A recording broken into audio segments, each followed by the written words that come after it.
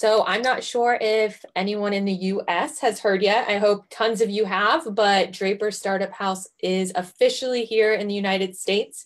Our first location is in Austin, Texas. We are right in the middle of 6th Street, so make sure you come and visit us next time you're here. We are not open for business yet as our timeline got pushed back a little bit with everything happening in the current ecosystem um, and really the world. But we hope to be open uh, and operational in the next couple months. So make sure you stay updated on everything we're doing here at draperstartuphouse.com. For our next speakers, we have Tito Jankowski and Eri Gentry. They are friends and co-founders who made a pact to work on the world's biggest problems. Their focus has been on climate change and they launched Negative, a carbon negative consumer brand. When they heard about the COVID crisis, they were working on mobilizing people to take climate action into their own hands. They quickly pivoted their time and energy to building the COVID accelerator. Join them now for a panel with five of their startups for a roundtable style discussion. For our next speakers, we have Tito Jankowski and Eri Gentry. They are friends and co-founders who made a pact to work on the world's pivoted their time and energy to build the COVID accelerator. And they launched Negative, a carbon negative consumer brand. Hey, everybody. Hi. Hi. My name is Eri, and I'm going to tell you about COVID Accelerator. So on March 12th, with my longtime friend and collaborator, Tito Jankowski, we created an accelerator out of thin air. So yes, in less than three weeks, it's launched new solutions, actually some new companies that are all tackling the COVID pandemic. So today we're going to hear from five project leads who became supercharged in a crisis. So they are the amazing heroes that are changing this world that we're living in. But I want to back up for a sec and tell you the story about how this happened. So before all this, Tito and I, we were working on climate solutions. We'd started this company, it's called Negative, and it's a carbon negative consumer brand, which probably makes your mind spin a little bit. What's that? So we make physical consumer products like jewelry or home goods out of carbon dioxide that's been pulled out of the air. So we were actually working on fulfilling our first big order when the first cases of COVID hit the shores. So I think a lot of you can probably relate to what happened next with us. Um, you know, we were reading the news constantly. We were panicking. We felt hopeless. We were pretty scared. And then we were like, oh, we have to pep ourselves up again. And the cycle kept continuing. Um, and it did until we realized that, you know, we are entrepreneurs, we're problem solvers. And how we get to that state is that we listen. So that was our job and that's every good entrepreneur's job is to listen to what's happening around you. And that's what we did. We heard there weren't enough tests that we weren't prepared and that a lot of us could get sick and die. But there was this other side of it too. We were hearing from our friends these amazing people we love super smart engineers scientists designers all kinds of people that they wanted to do something. You know and we did too but it felt like there was some blocker. It was a lot of fear and it was uncertainty.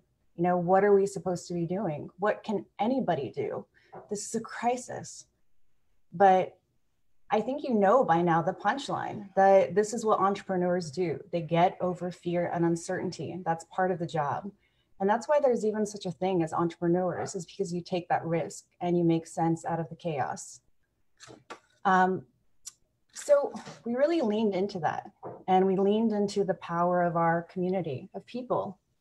And we borrowed this accelerator concept from the startup world and built a virtual community where fledgling ideas could be shared and they could be nurtured and launched to fight the pandemic that we're all in together. So COVID Accelerator, it helps to connect ideas to teams and then to resources like microgrants and PR and the amazing thing is, is that it's been working. And that's important because right now, there's never been a more important time to get solutions launched. So let's get into that. Um, in a moment, I'm going to pass it off to Tito Jankowski. He'll moderate a conversation with the first set of graduates from COVID Accelerator. You're going to hear from Paul about starting Corona Care card to serve small businesses from Ying about how design has been totally transformed in a crisis, from Nana, or Dr. A, as she is better known in the ER, about getting tests to tens of thousands of patients, from Keith about how Hospital Hero is serving our most vulnerable healthcare workers, from John about how Find COVID Jobs is taking care of people's livelihoods, so many of which have been lost, and Tessa on the surprising coincidences and new ventures that she's found amid COVID. So pass it off to Tito.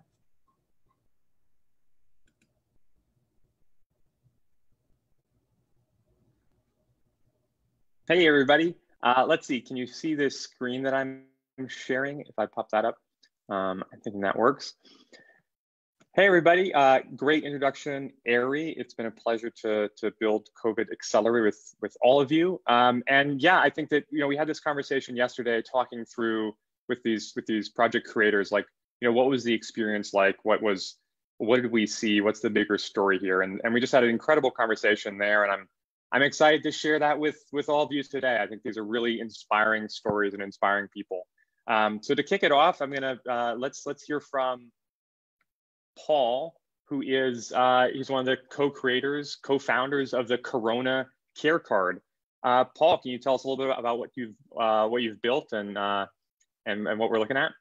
Absolutely. Thanks, Tito and uh, Eri, and good afternoon, the world. So my name is Paul Huynh. I'm one of the co-founders of Corona Care Card. Um, and before we go into any further, I'd like to give a huge shout out to the Corona Care Card team. We're working from around the globe uh, tirelessly on, in, in addition to homeschooling and our day jobs to build something that is meaningful and supportive of our local business owners. So what Corona Care Card is, um, you know, like all of our team members, I have a very personal attachment and, and, and love for local business owners. I grew up in the deep south where my mom was an entrepreneur and her manicuring salon was the lifeline of our family. It provided us many opportunities to realize, you know, the potential and successes. So um, when we couple that with a lot of the stats we're seeing right now, you know, when we think about the, the roles that, that small business owners play in America, over 30 million businesses fall into that category. 8 million of those are minority owned, right? They create two out of every three net new jobs, and they represent 99% of all businesses across America. So when we think about what's happening right now in the pandemic of Corona and COVID-19, um, that doesn't really change the number one major reasons why their businesses might fail, and that's because of cash flow. And that's what we came together to come and solve. How can we help enable and empower these small business owners and local business owners to stay afloat during this pandemic uh, and, and help tackle that, that, that major fear of, uh, of cash flow um, uh, deficiencies. So our platform enables any business owner, especially those without digital presence today. Um, believe it or not, nearly 50% of small business owners do not even have a website, right? So we wanted to enable and empower them to come online and sell digital gift cards so that they can uh, to help with their cash flows during this time when they can't work remotely. I think a lot of us are privileged in the sense that we can, but a lot of these business owners who are selling services, like my mom, are not able to go to their salon. So that's essentially what we're solving today. I'm very excited um, that we were able to bring together a team of committed, passionate, uh, and, and, and just hungry people to solve for, for this, this large challenge that we have here. That is totally awesome. It's been great to great to watch it all grow. Uh, I wanted to hear from you. What's what's your perspective on on an accelerator? How has this model been uh, been helpful in a time like this? So an accelerator around a pandemic. What's uh, how has it been helpful? It's been yeah, it's been helpful. I mean, like I'm I'm I my background is in tech, right? So I've worked um, over 11, about 11 years with Google. So I, I would I'm I'm very honored and privileged that I'm able to tap into that network. But when we think about people who want to solve challenge and, and, and challenges and problems without that network, um, it's it's quite impossible if you don't have that, right? So the accelerator in this case was able to lend like a credence. Um, it did like the vetting and, and, and, and, and loaned credibility so that people can come together and focus on that, that mission, that, that vision that they have for whatever problems that they're, they're looking to resolve in this terms of, uh, uh of crisis. So what kind of uh, what kind of uh, like what kind of emotions have you seen from from the team and from you know from you as you as you started to to today I think what really helped us uh, really gel, right? So uh, we we put out a call to action. Hey guys, like this is something that we're kind of thinking about. Um, you know, there's got to be something we can do to help local business owners. Um, and in a time where people are starting to feel a little bit helpless and hopeless, we're wondering like, what is it that we can actually do? What that synthesized for us is like, okay, well now that we want to do something for humanity, we're feeling a little bit helpless, hopeless. How can we do that? Right? So we brought that all together with one focus, and that focus helped us to, to really build out a team, build out a solution that is meaningful and, and possibly sustainable for beyond this crisis. And then also in, in, in the same vein, build communities, right? And that's what we've been able to, to do. Um, but the sentiment has been really charged around like, you know, we, we have a, a passion, we have a commitment and, and dedication to, uh, to helping our, our, our, our neighbors. And that's what it comes down to who, who was there when we needed them most? Who provided us that, that study room in their back of the cafe? Who provided us like that, you know, the, the, the extra bottle of milk that we needed when, when salaries were not, you know, uh, coming in on time, et cetera. So that's what we're, what, what we're rallying behind. It's the communal effort and, and building and propping up our local heroes. That is super awesome. So I wanted to bring in uh, Ying to the conversation. She's the uh, creative director of the of the Corona Care Card.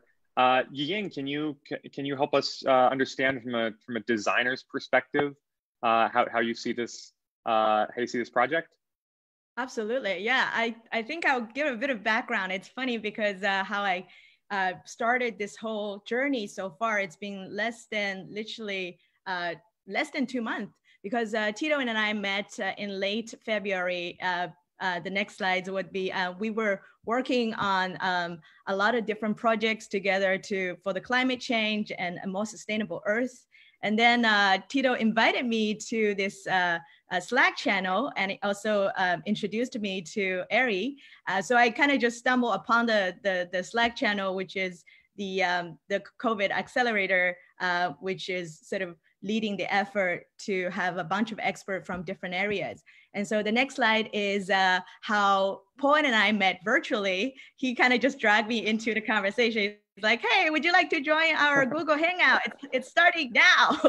so um, so I kind of jump into the, the, the um, it's, uh, I think it's a Google Hangout. If you look at the, the next slide, you'll see all the happy faces. Um, yeah, so that's the that's the uh, it's like walking into a bar and it was a bunch of people you've never met. And look I, am like the only person is kind of clueless. Everybody was like waving. I was just like looking like what's happening here? Um, but my background i've been working with um, uh, hundreds of startups in the world and also corporate companies. So previously, I was the creative director of 500 startups. So working with founders, working with people, creating something new to help the world is always something I'm passionate about. Um, and uh, to amplify the message um, and also making the storytelling because a lot of times the, te the, technology can be amazing. We can have some of the best engineers we can have some of the best technologists working on the problem. But um, if you look at the next slide you will see the original uh, the this is the original brand design. And i remember uh, leanne and, and and paul and also mike uh, like they're kind of like the person who started this uh, movement they said oh you know we have really great engineers working together on this project but we really need some branding help because we, we wanted to make sure, even though this is a new company, but we really have people behind it and we wanted to help small businesses, but we need to build this trust to um, engage with all the potential donors and people who can support to buy the gift card to help all the small and medium business owners. So um, I was looking at it, I was like, yeah, they, they really need, need some design help. So um, if you look at the next slide, I kind of did a, a little uh, call. So I said, uh, hey guys, like uh, I, I just decided to do this branding exercise.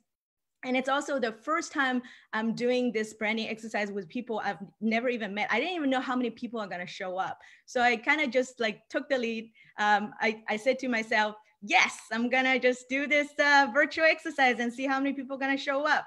Uh, so if you look at the next slide, we had more than like nine people showed up. This is just one of the slides, all the happy faces. So we did an exercise um, and I had all these uh, uh, sort of design questionnaires. Um, it's only one hour, but we were like and most I, I, mean i've never met any of these people. Some of the people are from from Bay Area. Some people are from the East Coast. We also have um, a girl from Colombia, uh, Vanessa, and it was just really amazing. Everybody was so um, devoted to this project, even though we've never met each other. But within that hour, we, we, we, we not only established trust, but also um, established this almost like a professionalism that. Uh, normally you wouldn't be able to see like within an hour you'll be able to like gel real fast um, and it was a really interesting session as well. So if you look at the next slide, uh, I was showing, uh, this is, uh, I, I, think I hacked uh, right after our design session was at one o'clock, we finished at two. I took some break and also some meetings and I, I kind of finished dinner and I hacked for like two or three hours.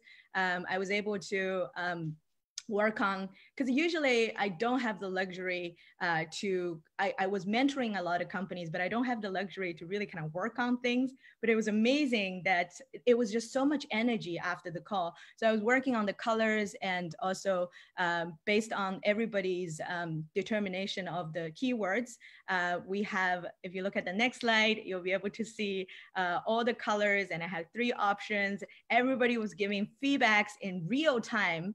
And if you look at the next slide, you'll see uh, Fadumo just said, I love it. Looks like the first one is going to be the winner. Let me build, I started to build the branding guide. And you look at the next slide, you will see uh, she started to just like, this is nine o'clock in the evening, right? So I sent her all the files. And you, if you look at the next slide, uh, within like three hours in 1 a.m., she already built this entire branding style guide based on the raw files that I sent her.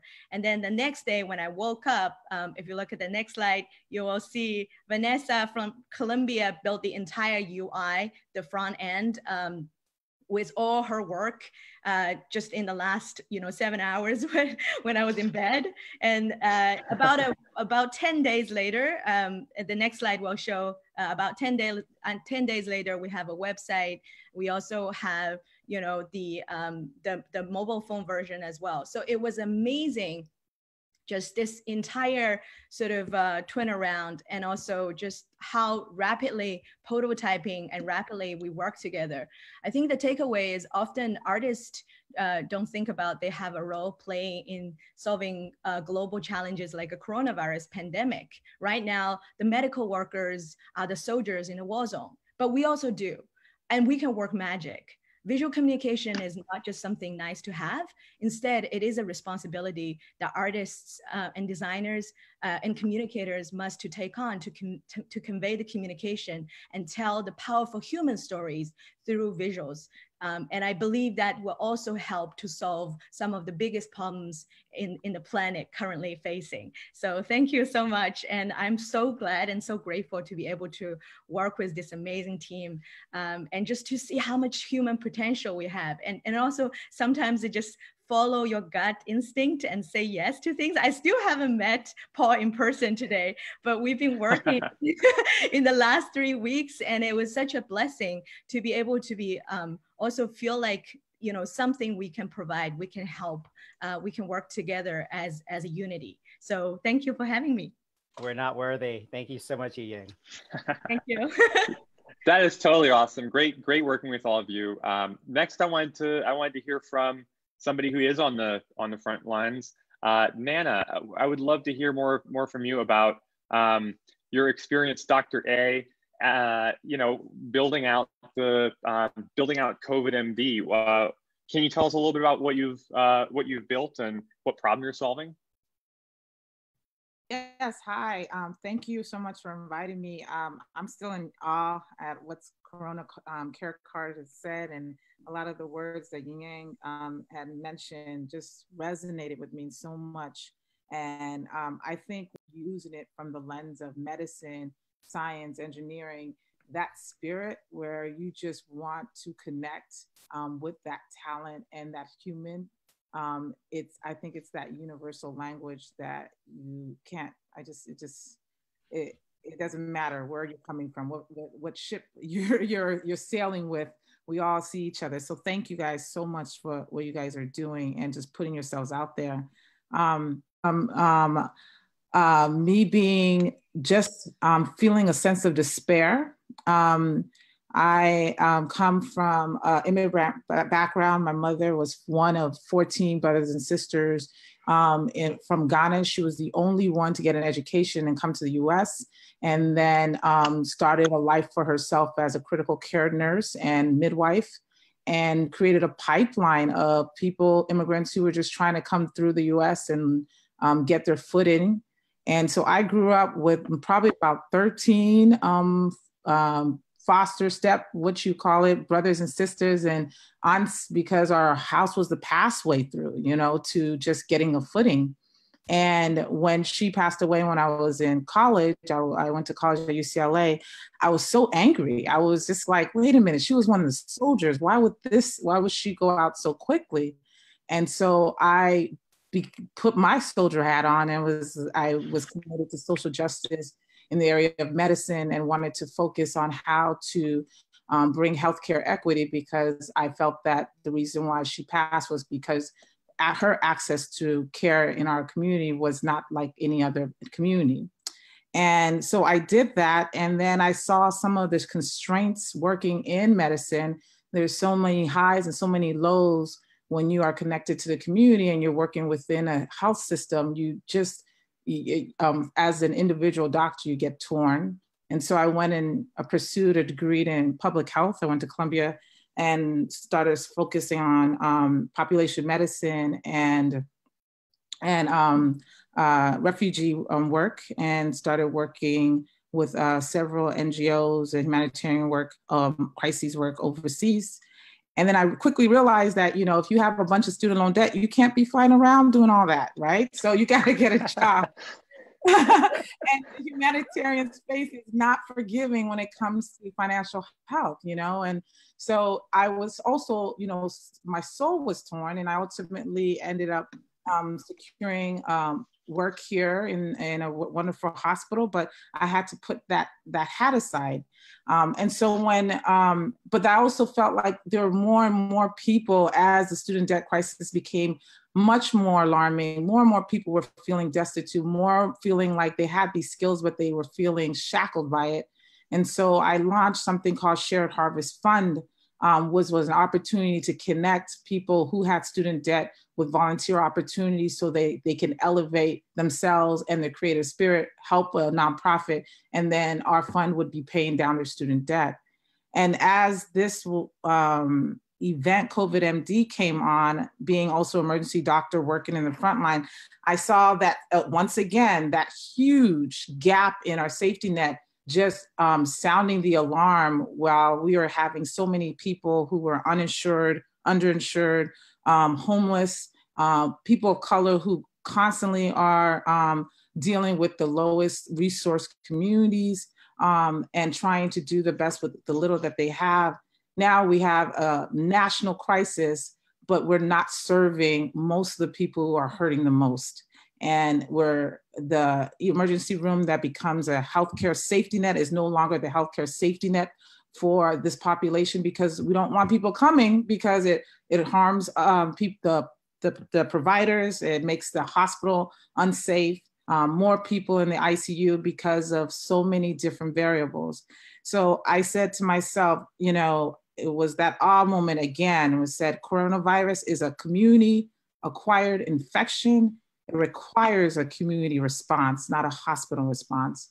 So uh, I just, I don't even know. I remember the one night I just came home after a hard shift and I literally, I don't even know how I woke up the next morning with like papers everywhere with this vision of connecting the grassroots community to, to the technology space so that we can work collaboratively to bring resources to the community. And I realized it existed already. And um, humanitarian settings that I had seen in Haiti um, and in Ethiopia, but now we had this amazing time in our country in our lives where technology could help right?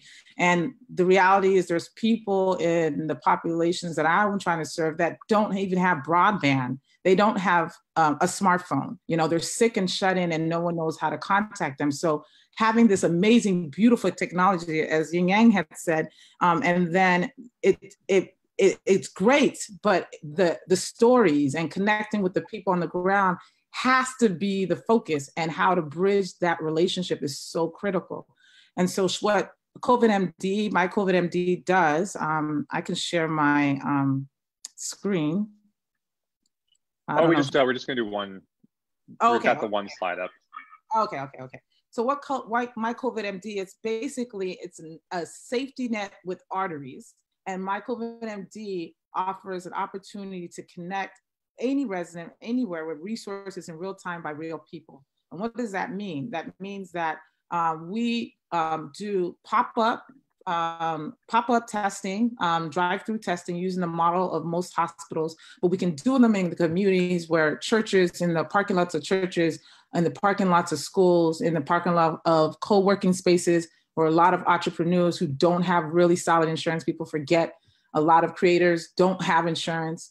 Um, and they're also part of this safety net that we need to um, protect. So we show up there and we provide the screening and testing like you would do at the hospital. But once we show up there, we connect them to what we call a community health partner, which is an online version of um, your uh, your health coach, nutrition coach, but this is your crisis coach. And this person connects you to resources in your community. They're also the point person that you reach out to when you're feeling in despair. And then we connect our that community health partners network into our arteries of telemedicine partners. So if you need to see a doctor and we can't get you in to see a doctor because you don't have one, you can get a doctor for um, for visits through our telemedicine partner Emerge TM.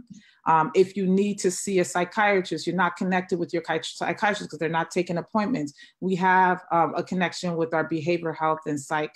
And then our wellness, TeleWell, is the same thing is that we as a community know how to use a little that we have and then our communities to make make ourselves smile make ourselves laugh make each other feel better. And so bringing that community aspect wrapping it into that telehealth um, clinic services is what the telewell piece does. And then the last thing that we awesome. do that's so awesome. Oh, sorry Um, the last thing that we do that's really important um, is that that link to the financial health and well-being. So all of our volunteers, if you can be a CHP, whether you're a provider or um, whether you're a doctor or not, and everyone has the opportunity to earn credits, and those credits can either go towards a student loan reduction or an emergency savings account because we know that at the end of the day this fight, this event will pass, and we want to make sure people are financially healthy and sound moving forward. That is totally awesome. Thank you for all the work that you do. Um, yeah, it's been it's been awesome to see it to see it grow and to see you launching these these events. If anybody wants to volunteer, uh, you can check out covidmd.org. Um, and, and I think we'll have, we'll have more time afterwards for, for more follow up. If anybody has any questions, you can, I think, enter them in the chat. But uh, I want to introduce uh, Keith from another project on the COVID Accelerator. This is called Hospital Hero. Uh, Keith, can you tell us a little bit about uh, about what you've what you've built and what problem you're solving? Thanks, Tito. Sure thing. Um, so, healthcare workers are really our first line of defense against COVID 19. Um, and they're also some of the people hardest hit by the pandemic. Um, we saw this really early on in Wuhan, China, um, with the crisis there.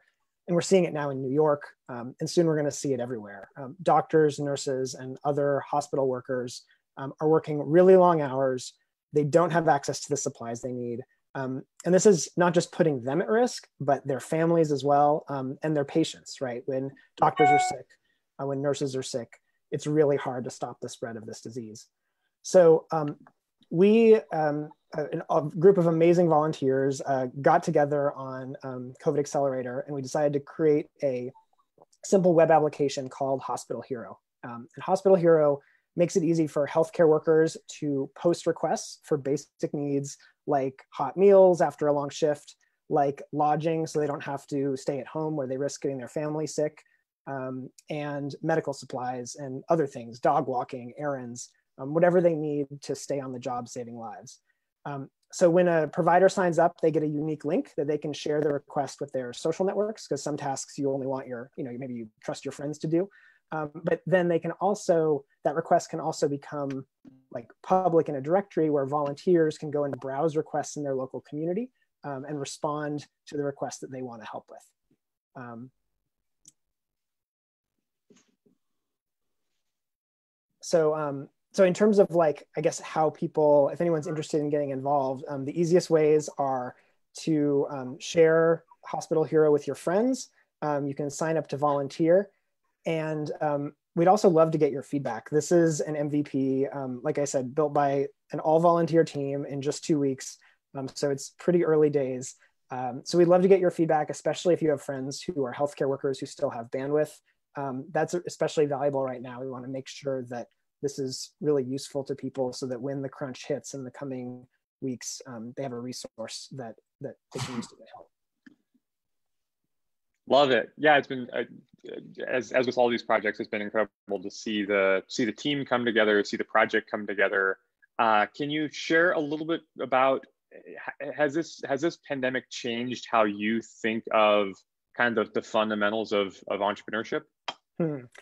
Um, yes and no. So I, I, I think you know personally, it's been real. It's felt really good to have something I could put my energy into um, while I'm you know trapped here in my house, rather than just like reading the news and feeling helpless about this problem. I think for all of us in COVID Accelerator, it's been really empowering to feel like we could do something, even if it's only um, you know a very small thing to help. Um, and it's it's actually been really inspiring to see all this entrepreneurial energy going into these really important problems like how do you how do you build a ventilator that costs $500 how do you sterilize masks when you have a shortage of supply? Um, how do you have mutual aid uh, networks so that people who it's not safe for them to go to the store because they're elderly or immunocompromised they can get paired with someone who can help. Um, it's like super impressive and inspiring to see what smart people can do when they like put their minds to solving these problems. Um, and i'm like th- you know every morning i'm like this is awesome. Like why can't we do this all the time um, and, and i think like that's really made me think personally about this tension between doing work that's fun and interesting uh, you know like working at a you know on a fun product um, doing work that's like important like personally fulfilling um, and doing work that pays the bills. Um, and I think some, you know, for some people don't have the luxury to like make those like choices because they are, you know, really focused on the day to day. And but for for I think particularly for entrepreneurs who do have that privilege and that freedom, um, it's really made me think like about the importance of working on problems that matter. Um, so go to the next slide. Um, actually, I sort of have been on a bit of this journey myself over the last nine months. I started, um, I left the um, startup world to um, to run marketing at Give2Asia, which is a international NGO that works on funding local charities um, in the Asia Pacific. So 23 countries uh, um, across the region. Um, and actually, it was because of that work at a nonprofit that we um, had this window into what was happening really early days with coronavirus. So we were watching what was happening to healthcare workers in Wuhan, watching the local organizations scramble to try and support these healthcare workers and in a pandemic there's all these new challenges like you know travel is restricted and so it's really hard to move goods and logistics becomes really important and nonprofits don't necessarily have supply chain expertise so you saw all these cool partnerships emerging um, between corporations and nonprofits between local volunteers um, and large organizations because the local volunteers had access to like they knew what each hospital needed um, and it became really apparent how important the technology was to coordinate resources um, in a crisis, but probably in, in, in general as well. Um, so I think like the silver lining of this, um, of this crisis is hopefully uh, one of them is getting entrepreneurs like all the folks on this call to really think like about what you're doing um, and like is and how you can apply your skill sets to problems that actually matter. Um, I think in in tech there's this real temptation to just build build fun things that VCs want to fund. Um, but the reality is that like if you're if you're successful, like the best case scenario, you're going to spend the next 10 years of your life building this thing. Um, so I think it's really important to build things that matter, especially if you have that that privilege. Um, there are just so many problems out there um, that actually can be solved by technology. Not all of them, um, but certainly some of them. So decarbonizing the economy to fight the climate crisis, um, improving access to safe water and food in the developing world, um, lowering the cost of healthcare solutions. Like we have great healthcare, but it's not evenly distributed. Um, there's just like so many cool opportunities out there. Um, so I hope that folks on this call and um, really think about what you can build with your skills that will matter.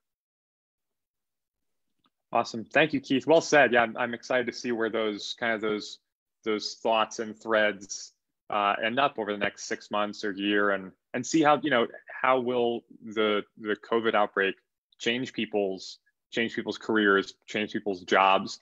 Um, that turns out to be a good segue to uh, John Potter, who's building a website called FindCOVIDJobs.com.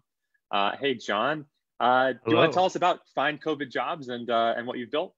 Yeah, so you can see the website itself is very simple. I built it in about a week on Webflow uh, to start. And right at the top, there's a job board you could click, uh, see a easy integration with Easy Hire that we have right now to organize our jobs and candidates more. Uh, but mostly what people use on the website right now is not the job board, but the buttons below here. So you could see submit resume or submit jobs, depending on if you're an employer or an applicant.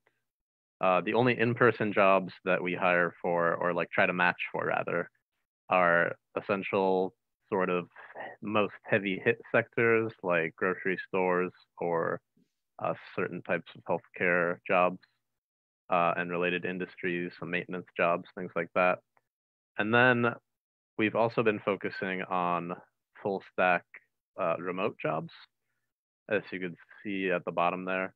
So I've gotten a lot of responses from engineers that want remote jobs right now, and we've also gotten a pretty good response from the employer side for the hiring managers. So I'm going to read an excerpt just very quickly uh, from one of our submissions we got on the hiring side. Uh, they say they work for the state government, mostly social service and healthcare roles, but also support IT and management. Most hiring decisions are completed within three weeks from advertisement start date, so they need to hire relatively quickly. And then they included their LinkedIn and some other information. Um, on the applicant side, we've gotten great results, not just from engineers, uh, but from all over. People submit their portfolios if they're a designer or if they do other work that needs to be showcased that way. They submit their LinkedIn for that as well if they're an applicant. Um, on the engineer side, for jobs we've actually matched, uh, we recently matched an engineer that used to work at WeWork and a few other places to a startup in Mountain View um, called Deel, D E E L, which focuses on payroll management uh, for remote workers, oddly enough, interestingly. So that's where we're at. And the growth is really quite incredible. And really, the thing that I want to focus on right now to tell you all about is just it on paper, I made the website myself and I don't have any co founders.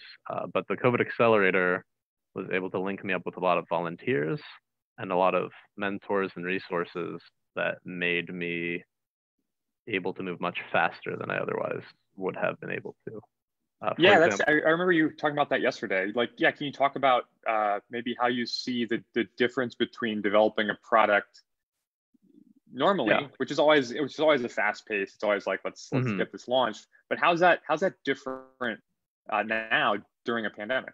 Yeah, so the most striking difference I've noticed recently is after thinking about it some more asking for things is way different right now. So normally when I ask for things uh, in a business development sort of way or in a sales or marketing sort of way, it's different than it is now, you know, to say the least.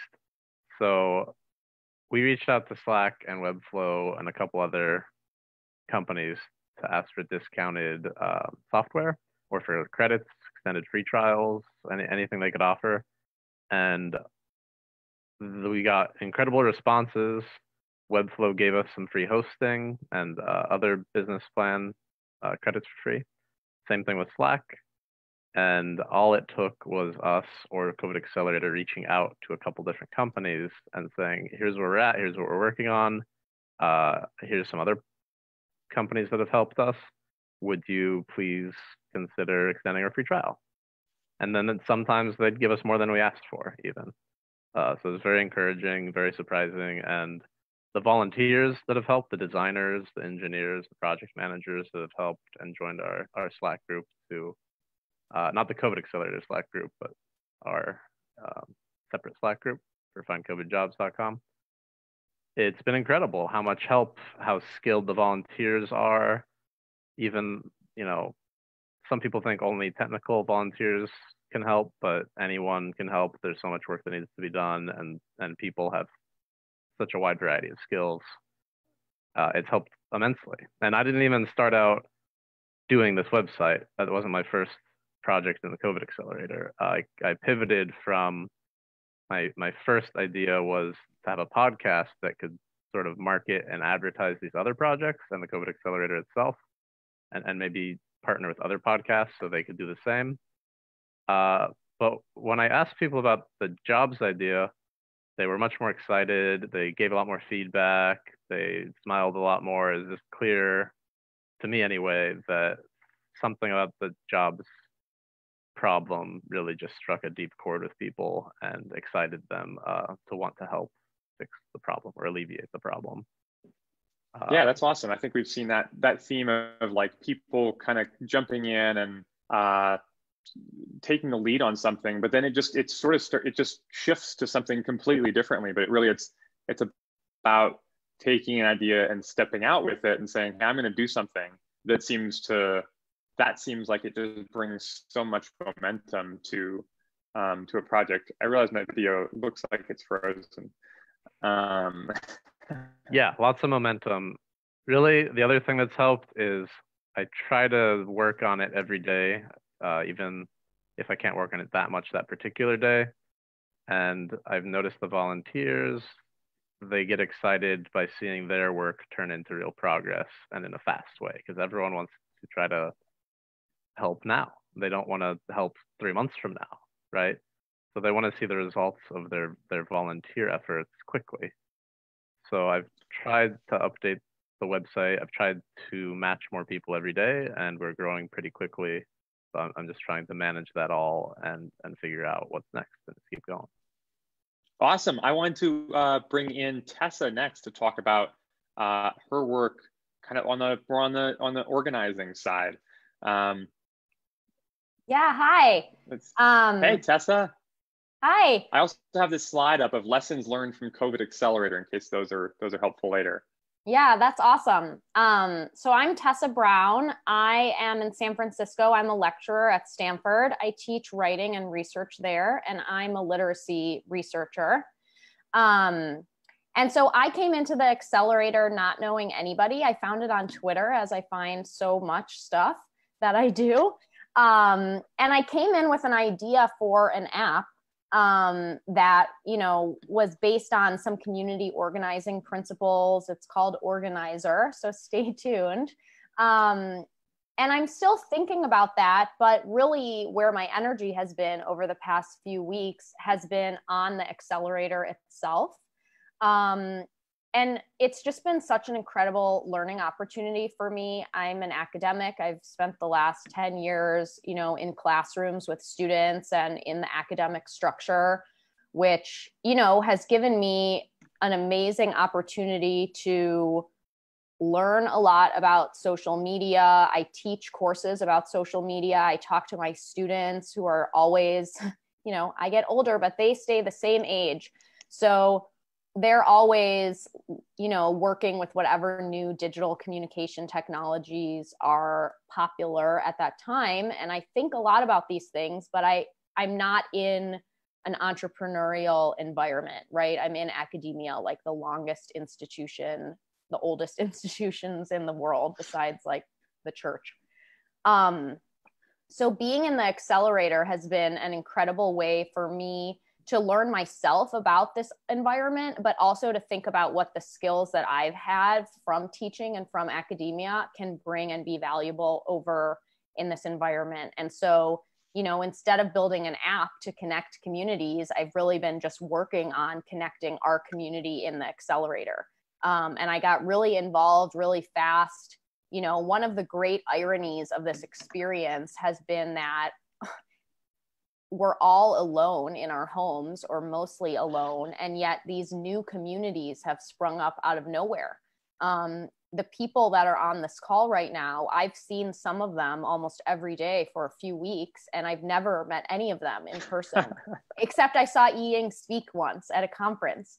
Um, so it's pretty wild. And um, I think, you know, something that I've been realizing is that just the value of communication skills. You know, I teach communication. And so I've been able to bring that over to this group and help people connect with each other, um, help people just be outgoing with one another, state what their needs are, state what they're working on, think about deadlines and trajectories, and sort of build in um, some sense of regularity. I think that's something that I took from academia and brought over to our group. You know, one of the first things that we kind of instituted together was this daily 10 a.m. Pacific time coffee and COVID. And it's just a Zoom call every day, but just the regularity of it and the community building aspect has been so powerful. Um, there's been an incredible value in just developing one on one relationships um, that's an insight from community organizing too. You know one-on-one relationships are the foundation of agile response networks right? So the more of us that know each other individually the more we'll be able to connect the more we'll be able to respond to whatever comes up next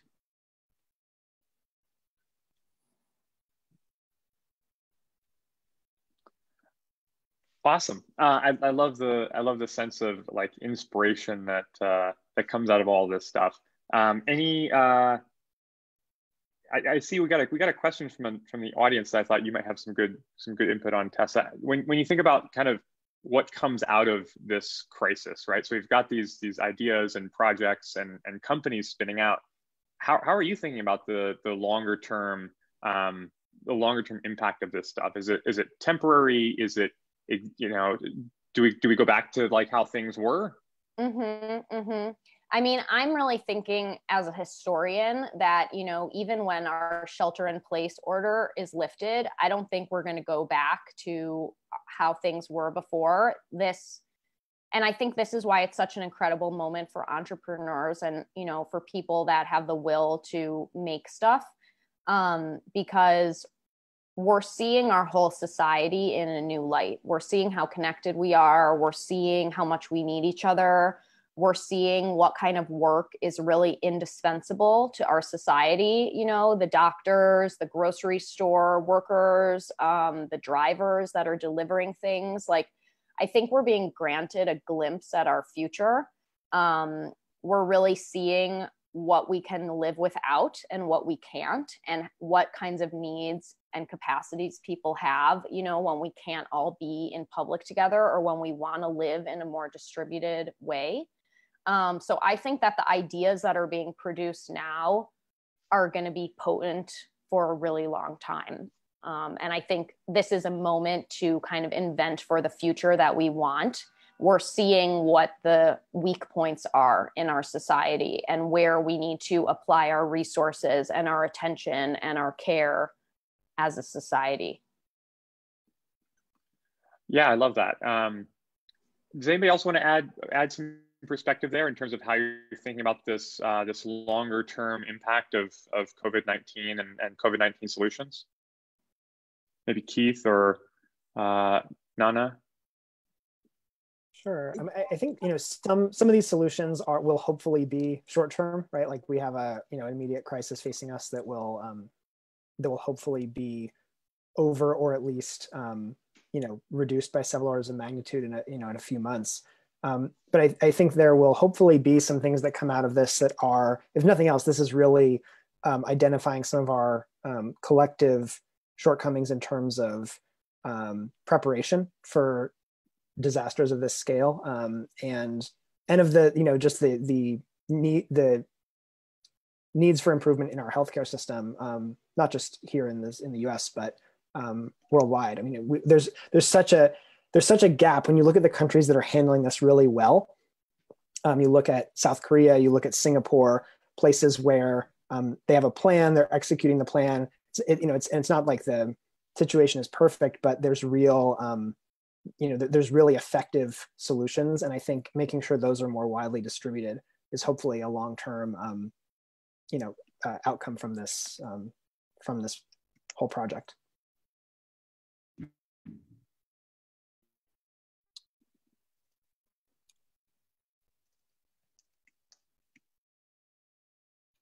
So I see a question that Eri has raised um, that one of the viewers asked. Um, this, Can I add to that or? oh yeah, please.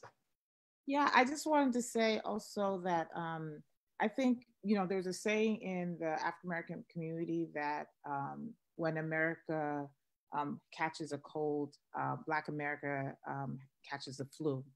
And when we look at it across those communities where um, there are lower resource, they tend to get hit harder when there is a mass issue um, of this magnitude. And I think what is so beautiful about um, having these ecosystems that can get together and see the crisis and want to create impact um, is so powerful. Um, but it's also important to be, if we're amongst that ecosystem, to be mindful of the people who aren't able to join that ecosystem because of the lack of opportunity and the, the, the whether it's healthcare disparities or economic disparities that keep um, um, our ecosystems so fragmented. And so the solutions that we make have to also be mindful of that as well. Or what we end up you doing is using technology to create greater and greater rifts within society between the haves and haves nots um, even in the most midst of crisis. You know, so for example, when you have a system that is focused on, um, I loved. Um, this will just be a perfect example of how beautiful the accelerator works. You know, initially, um, one of the companies was Feed a Doc, right? And the focus was on the doctors at the front lines. And that powerful story of how that, uh, that team evolved to um, healthcare heroes and um, in um, hospital heroes, I'm sorry, uh, to be more inclusive um, was exactly what we're talking about. Really, those of us who are thinking on the technology and how do we advance beyond um, the, the, title here was the virus. How do we get we'll get we get past faster than the virus? Is by being inclusive. Is thinking about everyone who's either at the table or not at the table when we're building these technology solutions. So I think that was just I just wanted to make sure that that's something that was beautiful that just came out of the accelerator to see that.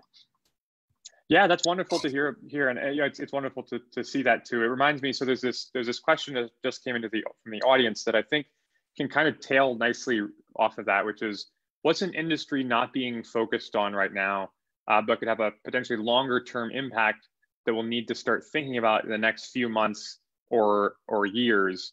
Um, do either do, do you have a sense for for that right? Like in terms of uh, inclusiveness and reaching out to new audiences is there a particular uh, area or industry where you think that could be potentially people listening right now want to work on something? Where could they uh, what's an area that they could work on? I think that fundamentally because of how tech we're seeing now the only way our uh, economies are functioning are online. Fundamentally, building an industry that is focused on getting everybody online, whether it's the utility push for um, broadband being at every community anywhere in the South, wherever internationally, building a system where everyone gets online, whether it's um, right now, there is a community, surprising enough, I'll just do example in Los Angeles, um, an urban community that the when the schools went out and um, the most of the schools were online for the students in the high schools there were students didn't have um, they don't have internet at home. They were going to libraries for the internet but now the li- libraries are closed. So there's a segment of um, that school that now are missing out on their curriculum because they didn't have that. And one of the large institutions um, it took a while it took a while but one of um, i believe verizon Wyoming decided to distribute hotspots for communities. Well, that should have been part of the master plan from the beginning, right? Because if you're going to tell people to go online, you got to make sure they have access to get online. And so when, I, when we're talking about these like technologies, it should just should be, you know, who is that partner online that to make sure that we grab our hands and make sure the person offline. And we still have um, in the geriatric population, we still, even though technology has advanced, we still have to take care of our older population. So, what are we doing to bridge the gap in the use of technology to make sure we are reaching our senior citizens in the time of crisis and where emergency response requires that we, we're watching out for them. So, I think you know the industry is where interconnection meets in, um, in the intersection between in, um, community and technology and what that is on every industry level. What are they what is what is that what's that sticky thing so we don't leave anybody behind? Yeah totally. I love it. And and for what it's worth i love working with this group because every time we talk i, I feel like every it just has such incredible insight and vision. Uh, and i wanted to turn this la- this next question over to to Eri. Um, oh wait tessa has something to add but you're muted. I was just thinking about what's coming next, that wonderful question of what's next. Something that has come up in our group is resource matching or matchmaking. So, especially if we're all at home, how do we find each other? How do we connect with each other? So, I think that's something that we're all noticing is kind of matchmaking or um, different kinds of social networks that surface people that we don't know yet is really important. Um, data security is coming up a lot because if we do more and more stuff online, how do we make sure that all of our information is safe? Um, and a last space I would say that we've been talking about is the media and media consumption because people's media consumption has skyrocketed and they're looking for new ways to get access to materials. They're, they need curation um, you know, we need DJs and curators and educators to kind of select materials for us, I think, and make it easier for us to access them because everyone is on Facebook right now asking what they should watch next. So, those are just a few thoughts about conversations we've been having. Thank you. Beautiful. Um, and John, you had a quick thought on this? Yeah, as far as areas that will be affected in the like coming months and, and maybe even years after all this is you know calmed down. I believe agriculture and just the food industry in general will change a lot, not just how the food is uh, made, but how it's distributed and from where it's distributed. So right now, it's very global and interconnected. A lot of people eat food that isn't necessarily grown near them or eat you know chicken that isn't necessarily raised near them. And i feel like from a sustainability perspective uh, not just for lowering emissions or or those good benefits will will those industries change but i feel like agriculture will change significantly because people will be more concerned about logistics and supply lines and food security that sort of thing. Definitely, definitely. And I see Tessa add uh, sustainability and security. We need food from close close by. Um, so as we're wrapping up this discussion, I wanted to uh, invite Eri back to give her give her thoughts. Eri is one of the best synthesizers I know in terms of pulling pulling everything together. Um, Eri, what, uh, what what do you have to add as we as we close this out? Yeah, so I want to close the loop with what we started with. And that was the sense that we're entrepreneurs, meaning we're problem solvers and we're risk takers, and we recognize when something needs to be done and we don't wait for others to do it. And what everyone here has talked about is amazing. Um, so I'm really honored to be part of this with you. Um, I think what they were able to do in just a few weeks is mind blowing, and they're still doing it it's an open call to everyone out there as well. Um, you're like us, you know, maybe you just heard about this accelerator or thought or were inspired that you can do something and you can. Uh, please join us on COVID Accelerator. Um, we will welcome you. We will be glad to have you there. And I want to say something for all of you like looking to get involved and you've just been waiting for that wonderful idea. Um, now is your time. Now is really your time. Um, whether it's doing something right now or you're a thinker over the long term and you're looking for ways that the world will be profoundly different. Um, there was a question here about, um, you know, what what's being affected. Um, that is for you to understand and, and solve for. So what I mean by that is um, things like climate change, like we have this unprecedented chance to see how moving into a digital world is positively impacting climate change. Can you lean into that and start something new? Or a few months from now, most of us will be coming out of our caves. And we've never had like two months of social isolation. Think about what are the impacts of that? What are the impacts to you? And what can you create out of that? And so just listen, listen and learn about what's going on. And in the accelerator, you can raise ideas and we will help you turn them into something more. Amazing. So, Thank you so much, COVID. Thank you. Really appreciate Everybody's clapping in their living rooms. all the great working with you all. That each individual team is doing.